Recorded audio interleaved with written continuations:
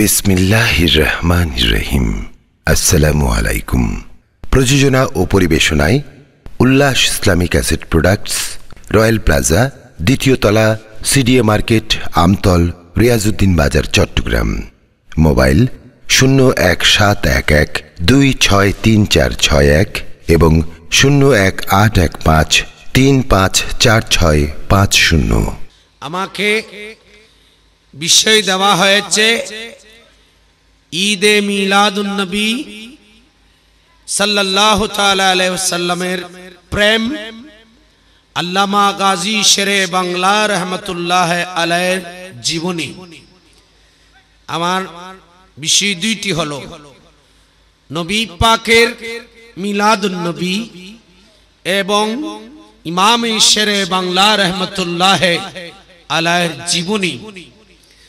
আমি সুরা আলাক থেকে কোরআনে পাকের তিরিশতম পারা। সুরা আলাক শরীফের ছোট্ট দুইটি আয়াত। একেবারে ছোট্ট ছোট্ট দুইটি আয়াত আপনাদের খেদমদে বরকতান তেলাওয়াত করেছি। আল্লাহ পাক আমাকে আয়াতি ক্রিমার মাতাহাতে বিষয় মোতাবেক কথা বলার আপনাদেরকে শ্রবণ করে আমল করার তাফিক এবং সুযোগ দান করুন। সকলে জবান খুলে আরেকবার বলুন, আমিন। আরেকটু জোরে বলেন। আমার নবী পৃথিবীতে এসেছে মা আমেনা রাদিয়াল্লাহু তাআলা আনহা। মা আমেনা রাদিয়াল্লাহ রাদিয়াল্লাহু তাআলা আনহা। উনার রেহেমে পাক থেকে আমার রসুল, আমার নবী দো জাহানের বাদশা নবী নবী কামলি ওয়ালা নবী নবী আখির জামান নবী মুহাম্মদুর রাসূলুল্লাহ, সকলে বলুন সাল্লাল্লাহু তাআলা আলাইহি ওয়াসাল্লামা পৃথিবীতে এসেছে, আমার এবং আপনার মতন নয়। ইমামে কস্তলানি, সারে বুখারী ইনি বর্ণনা দিচ্ছেন, মামাহেবে লাদুনিয়া কোলেন কিতাব। আমার নবী, আমি আপনি যেভাবে এসেছি, সেইভাবে আসেন নাই। শুধু আমার নবী নয়, যত নবী, যত রসুল আল্লাহ পৃথিবীতে প্রেরণ করেছে, আমি আপনি মায়ের পেট থেকে যে যেভাবে এসেছি, যে রাস্তা হয়ে এসেছি, নবী রসুলগণ সেই পথ দিয়ে আসেন নাই। আমার নবী এসেছে, মা আমেনা রাদিয়াল্লাহু আনহার, এই যে বাম পাশের হাড় রয়েছে, এরপরে নাবির নিচে একটু জায়গা আছে, সেই জায়গা হয়ে আল্লাহ পাকের কুদরতের ব্যবস্থাপনায় আল্লাহ পাকের হুকুম যখন হলো, আমার আল্লাহ যখন বলেন, কোন? ফয়াকুন আল্লাহ যখন বলেন, হও। তখনই হয়ে যায়। আমার মাওলার কুদরতের ব্যবস্থাপনায় মা আমেনার রেহমে পাকের বাম পাজের হাড়ের নিচে নাবির নিচে যেই জায়গা, সেখানে অটোমেটিক আল্লাহর কুদরতের ব্যবস্থাপনায় সিজার হয়ে গেল। সেই রাস্তা হয়ে নবী পাক পৃথিবীতে আগমন করলেন। একটু বড় করে বলেন আমি আপনি মায়ের পেট থেকে এসেছি। আপনিও এসেছেন। বেয়াদফি গুস্তাখি মাফ করবেন। আমি আপনি এসেছি মায়ের লজ্জাস্থান হয়ে। আর আমার নবী সেই পথ দিয়ে আসেন নাই। আমার নবী এসেছে মা আমেনা রাদিয়াল্লাহু তাআলা আনহার নাবির নিচে বাম পাশে যে জায়গা, সেখানে অটোমেটিক আল্লাহ পাকের কুদরতের ব্যবস্থাপনায় সিজার হয়ে গেল। আর একটু বড় করে বলেন, আমার নবী পৃথিবীতে এসেছে, আমার আপনার মতো নয়। আমার নাবি, আপনার নাবি, মায়ের নাবির সাথে, রগের সাথে, একটা যে পেটের মধ্যে কি থাকে? যে পেটের মধ্যে নারী বুড়ি থাকে না?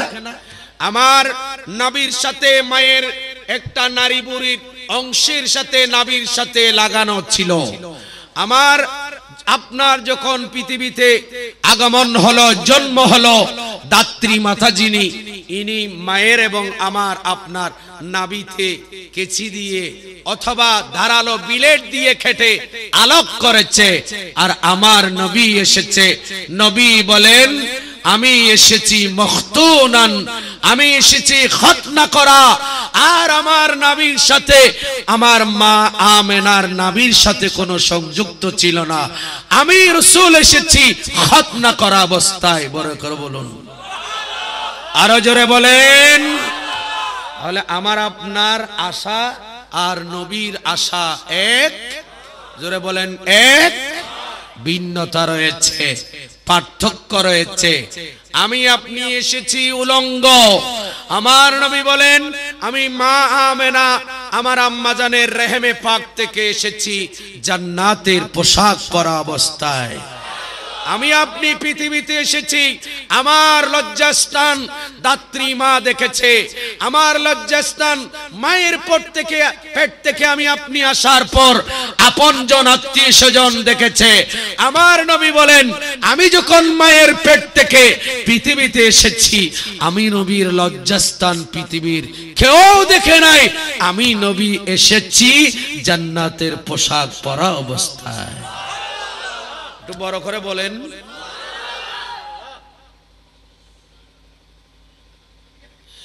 বেহেস্তে পোশাকে মোরা দুই নয়নে সুরমা পারা। এলেন নবী খতনা করা। এলেন নবী খতনা করা। মামেনার হুজারাই বারাই রাবিউল আউয়াল, এলেন রাসূল দুনিয়ায়। বারাই রাবিউল আউয়াল, এলেন রাসূল দুনিয়ায়। সালা দুনিয়া কুম গবের মনায়ক আমার নবী পৃথিবীতে এসেছে। আমি আপনি এসে কান্নাকাটি করেছি। আমি আপনি এসে কান্না করেছি। আর আমার নবী পৃথিবীতে আসার সাথে সাথে রাব্বি হাবিলি উম্মতি নবী আওয়াজ করলেন, সাথে সাথে সিজদায় পড়ে গেলেন। নবী আসার সাথে সাথে সিজদায়। আর বর্তমান কিছু মানুষ নবীর উম্মত দাবি করছে। এক পা কবরে যাবার টাইম হয়েছে। এখনও এখনও নামাজ পড়ার কোনো পরিকল্পনা? এখন কোনো নামাজ পড়ার সিদ্ধান্ত নাই। আর কিছু মানুষ আছে, কিরি নামাজ পড়ো না কেন? নামাজ পড়তে আসো। তখন সে জবাব দে, বলে, আমি নামাজ তোমাকে দেখাই পড়ি আমি নামাজ পড়ি মদিনা শরীফে গিয়ে। আরে বাবা, আগে এখানে পড়ো, তারপর মদিনায় গিয়ে পড়ো। ঠিক না বেঠি? আওয়াজ করে বলেন আমার নবী পৃথিবীতে আসার সাথে সাথে বুখারী শরীফ খোলেন, মুসলিম খোলেন, তিরমিজি শরীফ খোলেন। আপনার হাদিসে পাক স্পষ্ট। আমার নবী বলছেন, আমার রাসূল বলছেন, জুইলাত লিয়াল আরদু মসজিদাও ওয়া তুহুরা। নবী পৃথিবীতে এসে সিজদা দেওয়ার সাথে সাথে নবী পাকের কদম জমিনে লাগার সাথে সাথে পুরা নাপাক জমিন, পুরা পৃথিবীকে আল্লাহ মসজিদে মসজিদে পরিবর্তন করে, পবিত্র করে দিয়েছেন, বড় করে বলুন। আরও জোরে বলেন, আমার নবীর আগমন আজ পৃথিবী দণ্ড নাপাক জমিন পাক হয়েছে। মানবতার জীবন, যেই জীবন, যেই জীবনের স্বাধীনতা ছিল না, সেই জীবনের স্বাধীনতা নিশ্চিত হয়েছে। কথা বলেন ঠিক না বেঠিক আমার নবী আসার পূর্বে পৃথিবীর মানুষ গরু ছাগলের মতো বাজারে বেচা কেনা হতো। ঠিক কি না? মানুষ একজন অপরজনের গোলামি করত আর মা বোনদের বেঁচে থাকার অধিকার পৃথিবীতে ছিল। আওয়াজ দিয়ে বলেন, কোন মহিলা বেঁচে থাকার অধিকার ছিল? আওয়াজ করে বলেন আমার এখানে আছে, আমি আপনাদেরকে একটু দেখাবো। আজকে কিছু মা বোনরা সমান অধিকারের নামে আজ রাস্তায় নেমে পড়েছে। আমার নবীর ধর্ম ছেড়ে, আমার নবীর দেওয়া ইসলাম ছেড়ে, আমার নবী আল্লাহ এবং আল্লাহ রসুলের দেওয়া বিধান ছেড়ে দিয়ে রাস্তায় উলঙ্গ এবং বেহাপনার মাধ্যমে দিন কাটাচ্ছে। ঠিক না বেঠি? আওয়াজ করে বলেন আপনারা শিক্ষিত সমাজ, আপনাদেরকে অনুরোধ করব, আপনারা ইসলামী ইতিহাস পড়েন। স্কুলে যারা পড়েন, তারাও পড়েন। কলেজে যারা পড়ছেন, তারাও পড়েন। আপনারা যারা মাদ্রাসায় পড়েন, তারাও ইসলামী ইতিহাস পড়েন। একটু জাহিলিয়তের ইতিহাসগুলো একটু খুলে দেখেন। আপনাদের সামনে যখন জাহিলিয়তের ইতিহাস আসবে, তখন আপনাদের সামনে আপনাদের সামনে সূর্যের নিয়ম স্পষ্ট হয়ে যাবে। ঠিক কিনা? আওয়াজ দিয়ে বলেন, আমি দেখাচ্ছি মক্কা শরীফের একটা একেবারে হেরম শরীফের সাথে লাগানো, হেরমে পাকের সাথে লাগানো এই কবরস্থানের নাম কবরস্থানের নাম মকবরাতুস সবিকা এই কবরস্থান, এটা এটা একেবারে হেরম শরীফের সাথে লাগানো। এখানে আমরা দাঁড়িয়ে ছবিও তুলেছি। এই যে, আল মাকবারাতুসবিকা এটা এক সেই কবরস্থান। এটা ওই কবরস্থান। আপনারা যারা পেয়েছেন যে জীবিত মহিলাদেরকে মায়ের পেট থেকে ভূমিষ্ঠ হওয়ার সাথে সাথে জীবিত গেড়ে ফেলা হয়েছে। উত্তর পূর্ব পশ্চিম, উত্তর দক্ষিণ করে নয়। টিউবওয়েলের পাইপ যেভাবে একেবারে লম্বা করে গেড়ে ফেলা হয়, ঠিক সেইভাবে মহিলাদেরকে নিয়ে জীবিত গর্ত করে, উপরে নিচে গর্ত করে সেই কবরস্থানে হাজারো হাজার লক্ষ লক্ষ মহিলাদেরকে জীবিত এই কবরস্থানের মধ্যে ঘেরে ফেলা হয়েছে। সেই কবরস্থানের নাম আল মকবরাতুসবিকা এই কবরস্থান জাহিলি যুগে কোন মহিলা বেঁচে থাকার অধিকার ছিল না আরবে। সবাইকে জীবিত এই কবরস্থানে নিয়ে গিয়ে গেড়ে ফেলা হতো।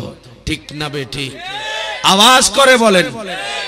আর এই কবরস্থানের পাশেই তো মক্কা শরীফ। এই মক্কা শরীফের এই হেরামের ভেতরেই তো আমার নবীর মিলাদুন নবী, মৌলুদুন নবীর ঘর। একটু বড় করে বলবেন না? সেখানে আমার নবী যখন এসেছে, মা আমেনার জিন্ন কুঠিরে আর সোয়াইবা ধরে গিয়ে, এটা বোখারের রবায়ত, যারা বলে মিলাদুন্নবী বেদাত। আরে মিলাদুন্নবী বেদাত নয় মিলাদুন্নবী করার কারণে আবু জেহেল এত বড় কট্টর কাফের আবু লাহাব পর্যন্ত কবরে প্রতি সে থেকে মুক্তি পায়। কথা বলেন ঠিক না বেটি? আওয়াজ দিয়ে বলেন। আর এ আবুল আহাব সোয়াইবাকে আজাদ করেছে, সেই দিন থেকে মহিলাদের আজাদ হওয়া এদের জীবন স্বাধীন হওয়া শুরু হয়ে গেল। আমার নবী পৃথিবীতে এসেছে। আর সেই দিন থেকে মানবতার জীবন, নারী পুরুষের জীবন স্বাধীন হয়েছে। পৃথিবীর জমিন পবিত্র হয়েছে। আর একটু আসতে বলেন। জমিন কি হয়েছে? ধরে বলেন। জমিন পবিত্র না হলে আজকে ওয়াহাবিরা জায়গায় বজাগায় মসজিদ, মাদ্রাসা বানতে পারতো? এরা যে জায়গায় জায়গায় মসজিদ, মাদ্রাসা বানতেছে, এটাও তো আমার নবীর মিলাদ নবীর কারণে। ঠিক না ঠিক? না হয় যেখানে সেইখানে মসজিদ বানতে পারতো না। আজ যে কোনো জায়গায় আপনি মসজিদ নয়, শুধু নামাজের টাইম হয়েছে, নামাজ পড়তে পারতেছেন আমার নবীর মিলাদ নবীর কারণে। আসেন, আমাকে বিষয় দেওয়া হয়েছে। আমার নবী এসে পৃথিবীতে সর্বপ্রথম কোথায়? জোরে বলেন। আর একটু জোরে বলেন। সিজদায়। তাহলে বুঝে গেছে নবী যে সিজদার মিশন নিয়ে, এবাদতের মিশন নিয়ে পৃথিবীতে এসেছে। ঠিক না বেটি? আওয়াজ করে বলেন। আমার নবী কোরআনে পাকে যান। সূরা ইয়াসিন শরীফ। আয়াত নাম্বার আট। আয়াত নাম্বার কত? আট আমি সেই আয়াতি করিমা দিয়ে আপনাদেরকে, আপনাদের আলোচনাকে ইনশাল্লাহ শুরু করতে যাচ্ছি। শুরুতে এক, দুইটি আয়াত আপনাদের খেদমতে তেলাবাদ করেছি। আসুন আগে সেগুলার একটু তার্জমা করব। আমার আল্লাহ বলেন, বিসমিল্লাহির রাহমানির রাহিম। أرأيت الذي ينهى أبدا إذا صلى সুবহান আল্লাহ বলেন না আর একটু বড় করে বললে ভালো হবে না আমার আল্লাহ বলেন أرأيت الذي ينهى أبدا إذا سلم অগরসুল হাবিব আপনি কি দেখেন নাই? হাবিব, আপনি কি দেখেন নাই? ইয়ানহা খারায় বাধা দে আবাদান ইজা সাল্লা, আমার বান্দাদেরকে নামাজ পড়তে কারাই বাধা দে আপনি কি তা দেখেন নাই? সুবহানাল্লাহ বলেন। আর একটু বড় করে বলেন। এই আয়াত প্রমাণ করছে নামাজ পড়তে কারা বাধা দেয়? সেটা আমার নবী দেখেছে। ঠিক না বেটি? আরও বড় করে বলেন, আমার নবীকে সাহাবায়করামদেরকে কারা নামাজ আদায় করতে বাধা দিত? আল্লাহ বলেন আর আইতাল্লাযী হাবিব আড়াইটা আপনি কি দেখেন নাই? তার মানে হ্যাঁ অবশ্যই আপনি দেখেছেন। একটু বড় করে বলব না, সুবহানাল্লাহ। এবার আসেন এই আয়াতের তাফসিরের দিকে যাচ্ছি না। ডাইরেক্ট কোরআনের আয়াত একটি আয়াত, অপর আয়াতের তাফসির হয়। এই তাফসিরকে তাফসিরুল কোরআন বিল কোরআন বলে। একটু বড় করে, আর একটু বড় করে বলি। আসেন এই আয়াতের তাফসিরে গিয়ে আরেকটি আয়াত খুঁজে পাচ্ছি আর একটা আয়াতের শান নজুল, যেটা সূরা ইয়াসিন শরীফ, পারা নাম্বার 22 সূরা ইয়াসিন আর আয়াত নাম্বার 8 সেখানে আমার আল্লাহ কি বলছেন? বিসমিল্লাহির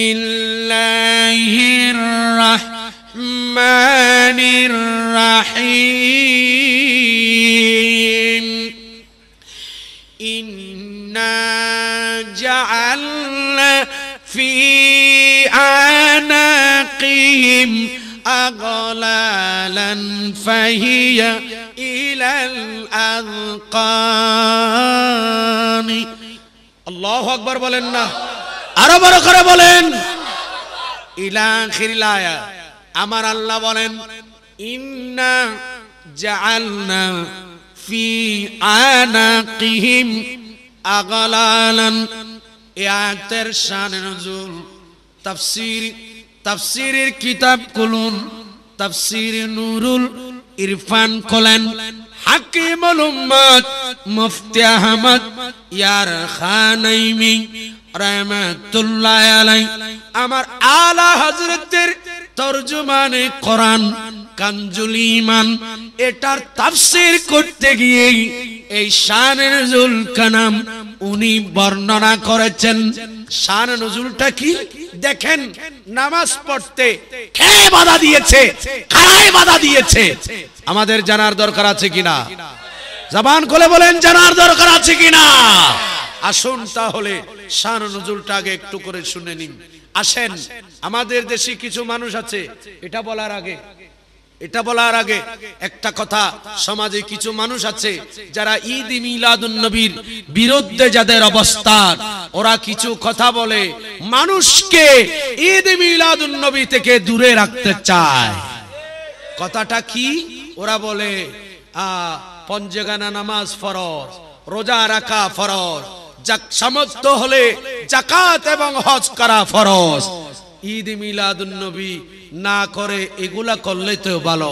মিলাদুন্নবী করার দরকার কি? একটু বড় করে বলবেন না, নাউজুবিল্লাহ। এরকম কিছু কথা সমাজে বলে। বলে কি না? আওয়াজ দিয়ে বলেন, বলে কি না? আসুন তাহলে তাদের জবাবে দুই এক কলমা না বললে তাদের কথাকে অনেকে হক মনে করবে। ঠিক না বেটি? জবাব দেওয়ার দরকার আছে? প্রয়োজন আছে? আপনাদেরকে, আপনাদের জেনে রাখার প্রয়োজন আছে? এটা রেকর্ড হচ্ছে। মানুষ এগুলা জানার প্রয়োজন আছে। আপনারা যারা নামাজের দোহাই দিয়ে ঈদ মিলাদুন নবীকে, ঈদ মিলাদুন নবীর এবাদতকে যারা বেদাত বলে মানুষকে দূরে রাখছেন, তাহলে আপনাদেরকে আমি প্রশ্ন করি, আপনি যে ফজরের নামাজ পড়তেছেন, এই নামাজ সর্বপ্রথম কে পড়েছে? জোহরের যে নামাজ ফজর ফরজ পড়তেছেন, এই জোহরের ফরজ নামাজ সর্বপ্রথম কে পড়েছে? আসরের ফরজ নামাজ সর্বপ্রথম কে পড়েছে? মাগরিবের ফরজ নামাজ সর্বপ্রথম কে পড়েছে? এশারের এশারের ফরজ নামাজ সর্বপ্রথম কে পড়েছে? ঠিক না বে, ঠিক বড় করে বলেন। আওয়াজ করে বলেন। আমরা হাদিসে পাক স্টাডি করে আমরা সেখানে দেখতে পাচ্ছি। আমরা পড়েছি জামে আহমদিয়া সুন্নিয়া আলিয়ায় দুই হাজার ছয় এবং সাথে দুই হাজার চার পাঁচ ছিল আমাদের আমাদের সেশন ছিল যে কামিল হাদিস। কামিল হাদিস দুই হাজার চার পাঁচ। এবং কামিল ফেকা আমরা পড়েছি দুই হাজার ছয় এবং সাত। অর্থাৎ মুফতি ডিপার্টমেন্ট। কোন ডিপার্টমেন্ট? ফতোয়া বিভাগ, মুফতি ডিপার্টমেন্ট আমরা পাশ করেছি দুই হাজার সাথে সেখানে আমরা একটা কিতাব পড়েছি। এই কিতাবখানা এই কিতাবখানা আপনাদের সমাজে, ওরাও এই কিতাব থেকে হাদিসে পাক বলে আমাদেরকে আপনাদেরকে ওয়াইস করেন, নসিহত করেন। ঠিক না বে, ঠিক বড় করে বলেন এই কিতাবের নাম কিতাবখানা লিখেছেন ইমামে আবু জাফর আবু জাফর তাহাবি রহমতুল্লাহ আলাই ইনি ওনার এই কিতাব, অর্থাৎ তাহাবি শরীফ, যেটাকে আমরা কি বলি? তাহাবি শরীফ, এক কথায় তাহাবি শরীফ বলি। এই কিতাবের ভেতর অর্থাৎ শরহে মানিল আসার। এই তাহাবি শরীফ, এই কিতাব আমাদের হানফি মজাবের একটা বড় দলিল। সুবহানাল্লাহ বলেন। আরও বড় করে বলেন। যিনি লিখেছেন ইমামে তাহাবি আলাইহ রহমা, আবু জাফর তাহাবি রহমতুল্লাহ আলাই উনিও মায়ের পেটে ছিলেন। কিছুক্ষণ আগে যে মায়ের পেটের কথা বলছিলাম না, ইনিও মায়ের পেটে ছিলেন, ইনি পৃথিবীতে আসার আগে ওনার মা ইন্তেকাল করেছিল। ওনার মা ইমামে আবু জাফর তাহাবি রহমতুল্লাহ আলাই পৃথিবীতে আসার আগে ভূমিষ্ঠ হওয়ার আগে, ইনি পৃথিবীতে আগমন করার আগে ওনার আম্মা পেটের ভেতর ইনি ছিলেন। এইরকম অনেক আমাদের দাদা, আমাদের দাদি, আমাদের অনেক মা বাচ্চাকে পেটের ভেতর রেখে মা ইন্তিকাল করেছে। বাচ্চাকে পৃথিবী দেখাতে গিয়ে মা নিজে পৃথিবীর মায়া ছেড়ে পৃথিবী থেকে বিদায় নিয়ে গিয়েছে। ঠিক না বেটি? ইমামে আবু জাফর ওনার মায়ের পেটের ভেতরে থাকা অবস্থায় ওনার মা ইন্তেকাল করেছে। আর অনেক মায়ের পেটের ভেতরে জীবিত স্বয়ং সম্পূর্ণ। পৃথিবীতে আসার টাইম হলো যখন টেস্ট করা হলো বাচ্চা পৃথিবী বাচ্চা মায়ের পেটের ভেতর একেবারে পরিপূর্ণ অবস্থায়, জীবিত অবস্থায় আছে। ফতোয়া তালাশ করা হলো। আমাদের ইমাম আজমের মাজাহাবে শাফি মাজাহাবে মালিকি মাজাহাবে হাম্বলি মাজাহাবে মাজাহাবের ভেতর এই ফতোয়া তালাশ করা হলো। কিছু মানুষ এখন এমন বের হয়েছে যারা মাজাহাব মানে না। ঠিক না বেটে আওয়াজ করে বলেন। হয়তোবা সেই যদি মায়ের পেটে যদি, মা যদি তাকে পরিপূর্ণ অবস্থায় রেখে ইমাম আবু জাফর তাহাবি রহমতুল্লাহ আলাইহির মতো তাকে যদি পেটের ভেতরে রেখে মা মারা যেত, তাহলে অন্য মজা হবে আছে যে বাচ্চা সহ, মাকে সহ খবর দিতে হবে। আর যখন মজাহাব, আর যখন ফতোয়া তালাশ করা হলো। আমাদের আলহামদুলিল্লাহ, আমাদের ইমামে আজমের মজাহাবে ফতোয়া পাওয়া গেল যে বাচ্চা যদি জীবিত থাকে, সেটা যদি নিশ্চিত হওয়া হয়, নিশ্চিত হন, তাহলে মায়ের পেট কেটে হলো, বাচ্চাকে বের করা হওয়ার ফতোয়া দিয়ে দিলেন। বড় করে বলুন। আরও বড় করে বলেন। উনি ওনার মায়ের পেট থেকে ওনাকে কেটে বের করা হয়েছে। ইনি এই কিতাবের ভেতর এই লম্বা হাদিস দীর্ঘ হাদিস সেখানেও জমা করেছেন। সুবহানাল্লাহ বলেন। দ্বিতীয় নাম্বার আল্লামা জালালউদ্দিন সুইতি আলাইহি রাহমাম তান কিতাব আল হাসাইসুল কুবরা শরীফ সেটা খোলেন সেখানে হাদিসে পাক কানা পাবেন। সেটা কি? সর্বপ্রথম ফজরের নামাজ কে আদায় করেছে? আমার আল্লাহ পাক আজ্জাওয়াজাল সর্বপ্রথম নামাজে ফজর কে পড়ছে দেখেন।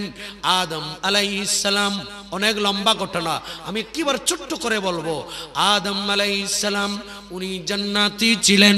যেভাবে হোক, মাধ্যমে যেমনি হোক, আমার আল্লাহ আদম আলাইহিস সালাম এবং আমাদের মা হাওয়া আলাইহিস সালামকে, এদের দুইজনকে পৃথিবীতে পাঠিয়ে দিলেন।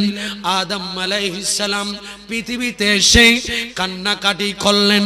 দীর্ঘদিন, দীর্ঘ বছর কান্নাকাটি করলেন। করতে করতে আরেকদিন সৈয়দনাম আদম আলাইহিস সালাম ইনি ওনার স্মরণ আসলো, আল্লাহ, আমি আদম আল ইসলাম জান্নাতে যখন ছিলাম, তোমার আর শাহিম দেখেছি। আর শাহিম তোমার নামের সাথে একটা নামে পাক দেখতে পেয়েছি। আমি আদম যখন জান্নাতে ছিলাম, জান্নাতের চকুড়ে তুমি মাওলার নামের পাশে একটা নাম দেখেছি। আল্লাহ জান্নাতে যখন ছিলাম, আমি আদম জান্নাতের দরওয়াজায় তোমার নামের পাশে একটা নাম দেখেছি। জান্নাতে যে বাগানগুলো ছিল ওই বাগানে পাতায় পাতায় তোমার নামের পাশে একটা নাম দেখেছি। আমি আদম সাফিউল্লাহ মুনিব তোমার কাছে ফরিয়াদ করছি। আল্লাহ আমি আদম আলাইহিস সালামের ফরিয়াদ তোমার নামের পাশে, যেই নাম আছে জমিনে যার নাম মোহাম্মদ, আসমানে যার নাম মোহাম্মদ। ঈসা নবীও বলেছেন, ইয়াতি মিম্বাদি ইসমুহ আহমদ। আল্লাহ তোমার নামে পাকের পাশে, যেই নামে পাক আছে, ওই নাম নিশ্চয়ই তোমার বন্ধু হবে, তোমার হাবিব হবে। আল্লাহ তোমার এই বন্ধুর নামে পাকের উসিলায়, আমি আদম সফি উল্লার ফরিয়াদকে কবুল কর। আল্লাহ আকবার বলেন। আদম আমার নবীর নামে পাকের উসিলায় দোয়া করলেন। আল্লাহ পাক দোয়া ফেরত দেয় নাই, সাথে সাথে দোয়া কবুল করলেন। একটু বড় করে বলেন, আরও জোরে বলেন। যেই নবীর নামে পাকের উসিলায় আদম আলাইহিস ইসলাম দোয়া করলে দোয়া কবুল, তো ওই নবীর মিলাদ নবী বেদাত। আদম ইসলাম না আসলে তো পৃথিবীতে তুমি আমি না। কি আমার তোমার অস্তিত্বই হতো না। যেই আদম নবী, যিনি আমাদের আদি পিতা, উনি দোয়া করেছেন, আমার নবীর নামে পাককে উসিলা করে। এখন কিছু আহলে হবিজ বের হয়েছে। উসিলা নাকি এটা শিরিক? একটু বড় করে বলেন। আলাইহিস ইসলাম যেখানে প্রথম মানুষ, প্রথম নবী। ঠিক না ঠিক? বড় করে বলেন, যার আগে কোনো মানুষই ছিল না, যার আগে কোনো নবী ছিল না, ইনি যদি আমার নবী, যেই নবীর ঈদে মিলাদুন নবী, আমরা পালন করছি, ওনার উসিলা ধরে আদম আলাইহিস ইসলাম যদি দোয়া করে, তো আমরা করলে কেন বেদাত হবে? ঠিক না বে ঠিক? বড় করে বলেন, ওই নবীর মিলাদুন নবী তো আমরা করতেছি। আদম ইসলাম নিজে এককভাবে করেছেন। আর আমরা একেবারে এলাকার মানুষ এক জায়গায় হয়ে নবীর গুণগান, কোরআন, সুন্নার আলোচনা করে নবীর উসিলাই দোয়া করতেছি। ঠিক না বেটি? কেন শিরিক হবে? কেন বেদাত হবে? আদম ইসলাম সেদিন কি বেদাত করেছিলেন, আমার নবীর নামের আমার রসুলের নামে পাক রুসিলা নিয়েছে। গভীর মনোযোগ দোয়া করলেন। দোয়া করার পর দেখা গেল অন্ধকার। এতদিন পৃথিবী অন্ধকার ছিল, পৃথিবী একেবারে অন্ধকার ছিল। আদম আলাইহিস সালাম আমার নবীর নামে পাকের উসিলায় দোয়া করতে দেরি নেই। দেখা গেল অন্ধকার দূর হয়ে যাচ্ছে, রাত দূর হয়ে যাচ্ছে। দেখা গেল সকাল হয়ে গেল।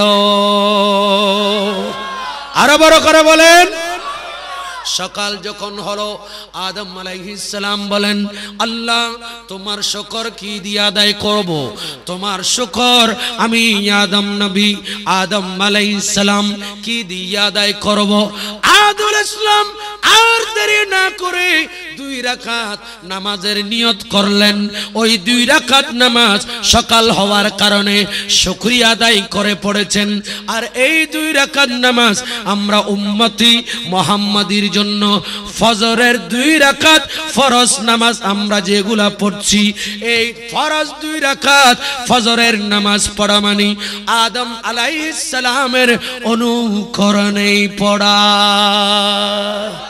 আরও বড় করে বলেন, আরও জোরে বলেন। দেখেন, ওরা নামাজের দোহাই দিয়ে মিলাদুন নবী থেকে মানুষকে দূরে সরাতে চায়। ফজরের যে দুই রাকাত ফরজ নামাজ এই তো সর্বপ্রথম আদম পড়েছেন। আর এই নামাজ আল্লাহ আমার নবীর উম্মত, আমরা যারা আমাদের জন্য ফজরের দুই রাকাতকে ফরজ করেছেন। আর দুই রাকাত কি? সুন্নত। আর দুই রাকাত বুখারিতে যান, মুসলিমে যান, সেখানে গেলে হায়রান হয়ে যাবেন। আমার নবী বলেছেন, এবার সুন্নতের ফজিলত দেখেন। আমার নবী বলেন, উম্মত, ফজরের দুই রাকাত সুন্নত, যদি তুমি এক পাল্লায় রাখো, আটখানা জান্নাত, আটখানা জান্নাতের নাজে নিয়ামত যদি অপর পাল্লায় রাখো, নবী বলেন, জান্নাতের, আটখানা জান্নাতের নাজে নিয়ামতের চাইতো আরও কোটি গুণ বেশি ফজরের দুই রাকাত সুন্নতের দাম কোটি গুণ বেশি হবে। আরবে বড় করে বলেন। আদম আলাইহিস ইসলাম দুই রাকাত আদম আল ইসলাম পাতায় পাতায় জান্নাতে আমার নবীর নাম দেখেছে। কি দেখেছে? আরও জোরে বলেন, কি দেখেছে? আরও জোরে বলেন, আল্লাহ কোরআন পাঠালেন নবীকে চেনাতে। বলেন, আল্লাহ কোরআন নবীকে চেনাতে দুনিয়া বানালেন নবী তোমরা ঘুমাচ্ছ? এই ছেলেরা, আল্লাহ কোরআন পাঠালেন নবীকে চেনাতে দুনিয়া বানালেন নবী মাশাআল্লাহ, আপনারা তো জানেন, দেখতেছি। জানলে একটু মহাব্বতে বলেন। দুনিয়া বানালেন নবীর, বুঝাতে দুনিয়া বানালেন নবীর। বেহেস্তের পাতাই পাতাই আর লতায় লতায় নবীর নাম, আর সমলার নামের সাথে নবীর নামের মনোগ্রাম, নবীর নামে মনোগ্রাম। আল্লাহ বেহেস্ত বানালেন নবীর নামেতে। সুবহানাল্লাহ বলব না? আর একটু মহাবতে বলি। আল্লাহ বেহেস্ত বানালেন নবীর নামতে। হাসর করাবেন নবীর শান দেখাতে। হাসর করাবেন নবীর আল্লাহ কোরআন পাঠালেন। মাশাল্লাহ আল্লাহ কোরআন নবীকে চেনাতে দুনিয়া বানালেন নবী শান বুঝাতে আল্লাহ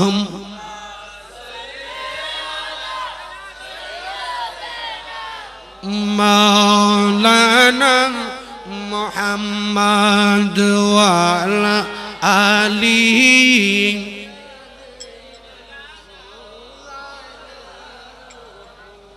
আল্লাহ তাআলা নবীর নামে, আল্লাহ তাআলা করেছেন সব সৃষ্টি। হাবিবি বলে, নূর নবীকে করেছেন সম্বোধন করেছেন সম্বোধন। আল্লাহ দুরুদ পড়েন। পড়ে কিনা? জবান খুলে বলেন। আল্লাহ দুরুদ পড়েন। নবীর নামেতে ইমানদারদের পড়েতে বললেন কর আনেতে ইমানদারদের পড়েতে বললেন কর আনেতে আল্লাহ কোরআন নবীকে চেনাতে দুনিয়া বানালেন নবীর শানি বুঝাতে আল্লাহ সৈদিনাম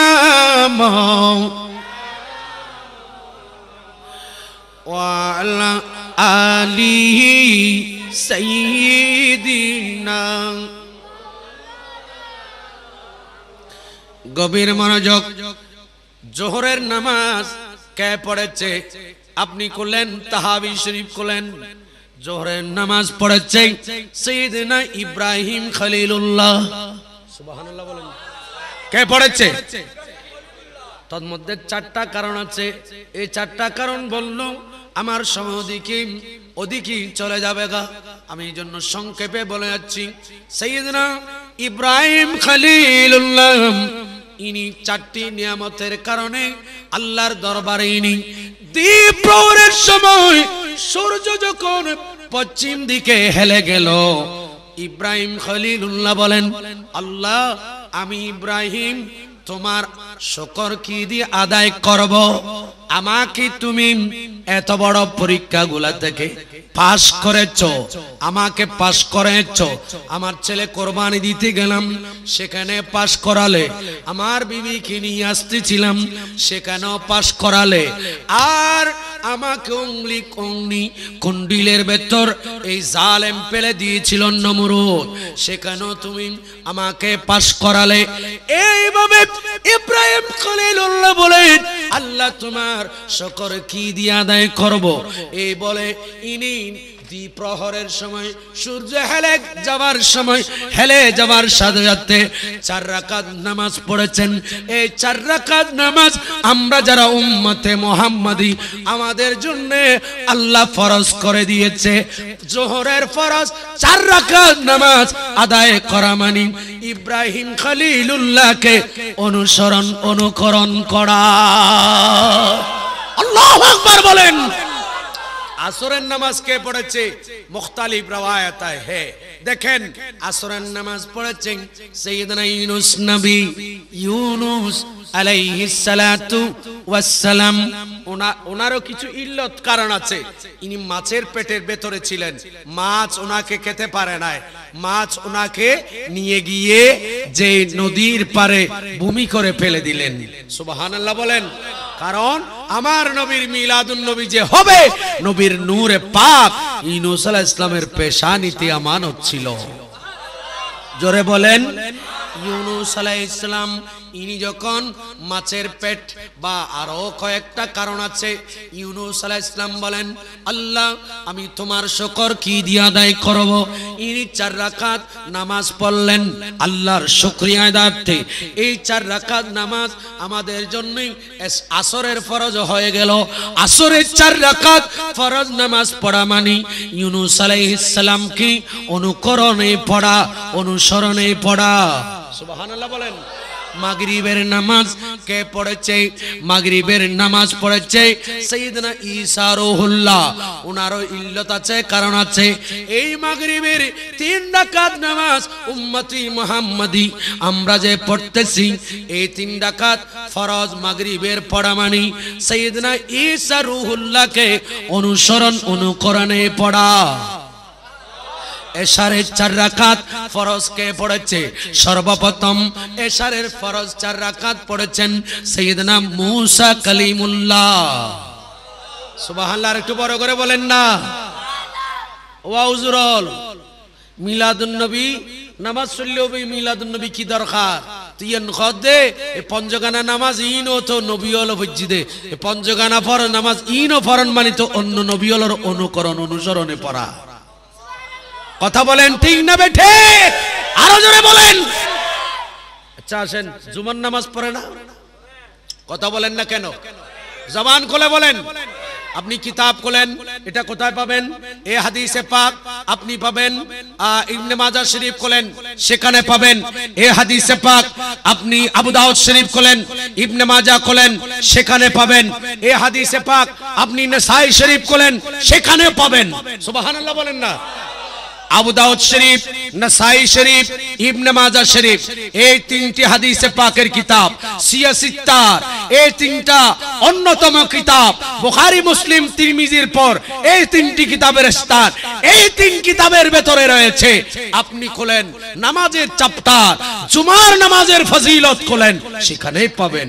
সুবহানাল্লাহ বলেন। দেখেন, জুমার নামাজ আগামীকাল জুমা না? কথা বলেন। আপনারা পড়বেন না, আমরা পড়ব না, পড়ব। জুমার নামাজ। আসেন বাবা, এই জুমার নামাজ সৈয়দুল আইয়াম এক সপ্তাহের মধ্যে সাত দিন। সাত দিনের মধ্যে উত্তম দিন কোনটা? আমার নবী বলেন, সৈয়দুল আইয়াম দিনের মধ্যে সরদার দিন কোনটা? সেটা হচ্ছে জুমার দিন। আর একটু আসতে বলেন। বেশি বড় হয়ে গেছে আর একটু আসতে বলেন। সপ্তাহের মধ্যে সাইয়্যিদুল আইয়াম হচ্ছে জুমার দিন। আমার নবী বলেছেন আকসিরুস সালাত আলাইয়া ইয়াউমাল জুমা। হে আমার উম্মত, তোমরা বেশি করে করে জুমার দিন আমি নবীর উপর বেশি করে দরুদ শরীফ পড়ো। আরও জোরে বলেন, বেশি করে জুমার দিন বেশি করে নামাজের কথা বলেন নাই। নবী বলেছেন, বেশি করে জুমার দিন। আমি নবীর উপর দরুদ পড়ো। ইয়া রাসূলুল্লাহ আচ্ছা আমরা জুমার দিন, দরুদ শরীফ পড়ব। জুমার দিন সৈয়দুল আইয়াম সরদার দিন হলো কেন? দিন সমূহের মাঝে সরদার দিন জুমার দিন হবার পেছনে কারণ কি?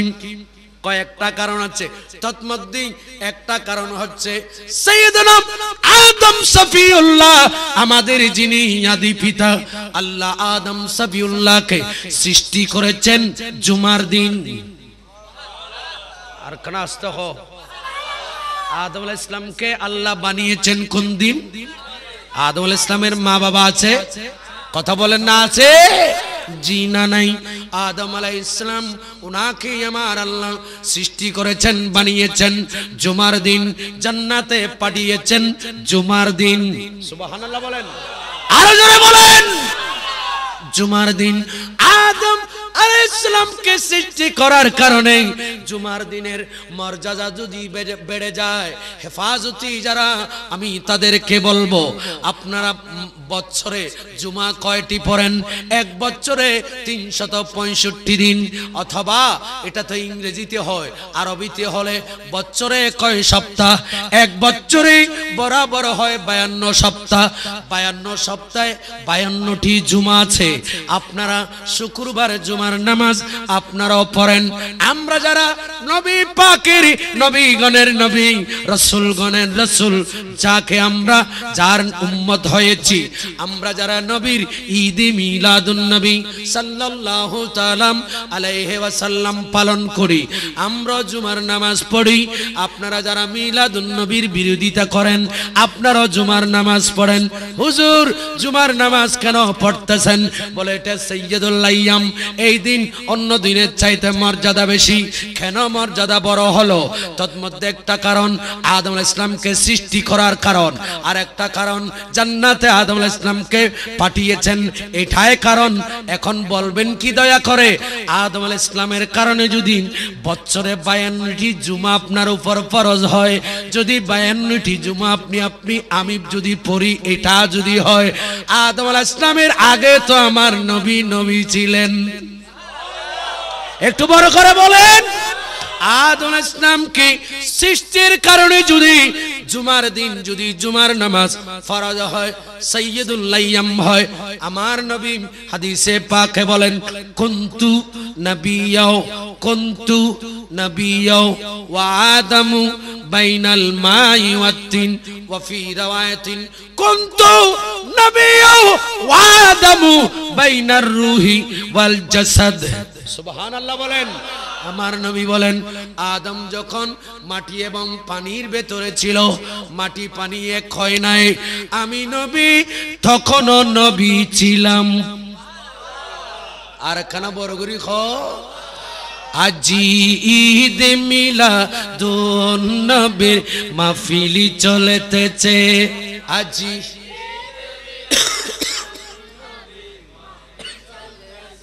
আপনাদের বিরক্ত লাগতেছে, আমি দেখতেছি। আওয়াজ বুঝে যাচ্ছে, তাই আপনার ঠান্ডাও লাগতেছে, ঠান্ডা।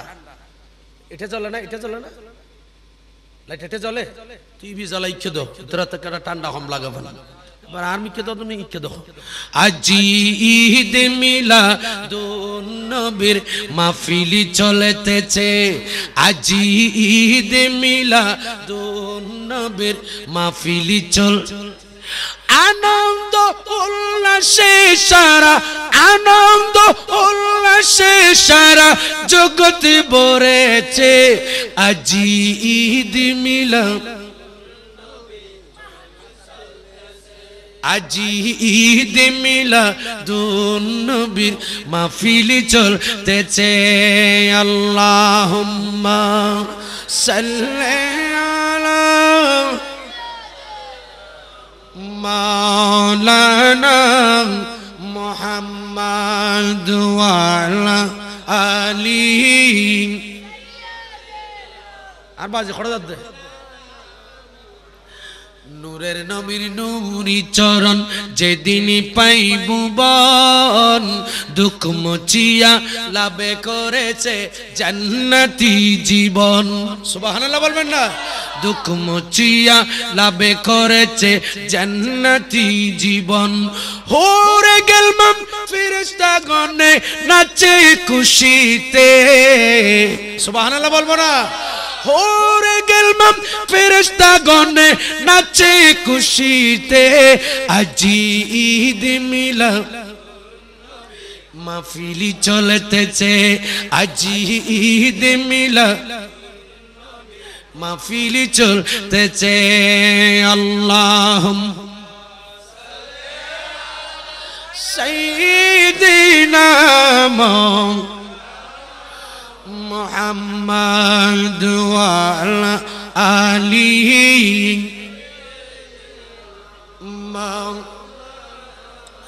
পশু পাখি বৃকলতা মানবার দানব মারহাবা মারহাবা বলে করেতেছি উৎসব এই উৎসবের দোলনা দোলায় নূরের বাতাসে সুবহানাল্লাহ বলব না এই উৎসবের দোলনা দোলায় নূরের বাতাসে।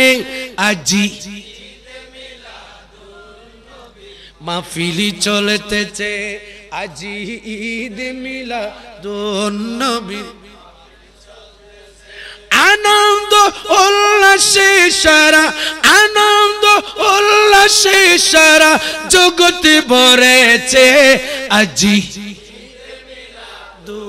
নবীর মাহফিলি চলতেছে। আজি ঈদ মিলা মাহফিলি চলতেছে। আল্লাহুম্মা সাল্লি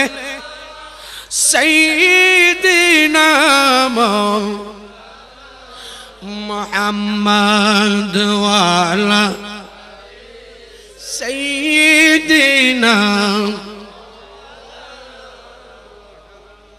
তাহলে জুমার নামাজ, এটার ফজিলত বেজেছে আদম আলাহ ইসলামকে সৃষ্টি করার কারণে। ঠিক না বেটে? আদম আলাহ ইসলামের সৃষ্টির কারণে ওনাকে জান্নাত দেওয়ার কারণে যদি জুমার এত বড় ফজিলত হয় আদম আলাহ ইসলামের আগে তো আমার নবী নবী ছিলেন। ঠিক না বেটে? তো ওই নবীর আগমনে কি হবে? ঈদ মিলাদুন নবী না হয়ে কি হবে? ঠিক না বে ঠিক বড় করে বলেন। জোরে বলেন।